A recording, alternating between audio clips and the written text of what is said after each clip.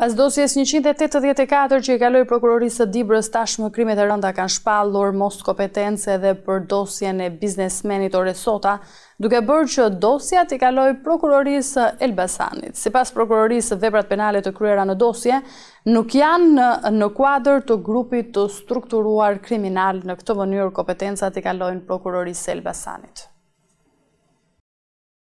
Pas dosjes njëqind e tetëdhjetë e katër, Prokuroria për Krime të Rënda ka hequr dorë nga hetimi një tjetër çështje të rëndësishme. Bëhet fjalë për dosjen e biznesmenit Orest Sota, e cila është transferuar në Prokurorinë e Elbasanit. Ky institucion ka shpallur moskompetencën për hetim me argumentin se veprat penale nuk janë kryer në kuadër të grupit të strukturuar kriminal. Hetimet e mëtejshme për Orest Sotën do të vijojnë nga Prokuroria e Elbasanit me akuzën e pastrimit të parave dhe fshehjes së të ardhurave. Biznesmeni Orest Sota u arrestua në Elbasan, Më shumë se një vit e gjysmë më parë dhe në makinën e tij u gjetën një shumë prej tetëqind e gjashtëdhjetë e tre mijë euro dhe dy patenta të lundrimit të ish-ministrit të Brendshëm. Fillimisht ishte Gjykata e Elbasanit që caktoi masën e sigurisë arrest me burg për të, për akuzat e pastrimit të parave dhe fshehjes së të ardhurave. Më pas çështja u transferua në Prokurorinë për Krime të Rënda, pasi dyshohet se paratë që u gjetën në makinë mund të ishin të ish-ministrit të Brendshëm. Këtë pretendim, prokurorët e Krimeve të Rënda e ngritën në seancën e caktimit. të masës për Sotën. Pas disa seancash radhazi biznesmeni rifitoi lirinë, ndonëse hetimet vijojnë. Në momentin kur prokuroria përfundon hetimet për ish-ministrin Tahiri dhe tre ish-zyrtarët e lartë të Policisë së Vlorës, ndaj të cilët ngriti disa akuza, më e rënda e trafikut të drogës, në kuadër të grupit të strukturuar kriminal, dosja Sota u veçua. Por nuk kaloi shumë kohë dhe krimet e rënda hoqën dorë prej saj. E në kohën kur Orest Sota pret të mësojë për fatin e dosjes, Saimir Tahiri do të dëgjojë fjalën e fundit të Prokurorisë në seancën e dhjetë shtatorit.